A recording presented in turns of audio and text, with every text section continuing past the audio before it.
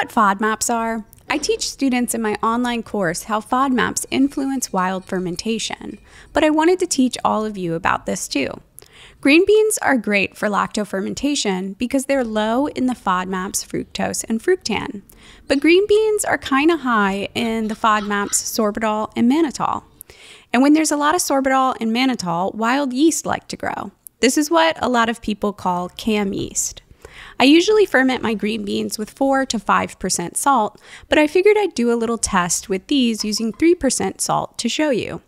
As predicted, there's a lot more wild yeast in these green beans than I see with higher salt concentrations. Look at all these yeast. The yeast are the bigger, more circular cells, and the bacteria are the smaller stick shaped cells.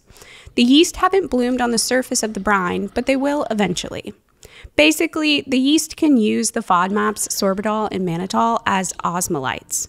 Osmolytes help yeast survive under the osmotic stress of salt.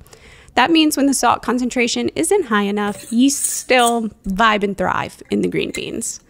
Get my green bean recipe with the best salt concentration at the link in my profile. You'll also find links to my online courses there.